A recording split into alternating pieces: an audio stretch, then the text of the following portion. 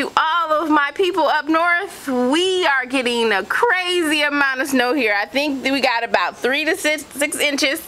This is my second video that I'm going to be posting to YouTube. I just wanted to show what's happening here. I went for a 20 minute walk this morning. It was pretty sweet. Anyway, happy holidays to everybody.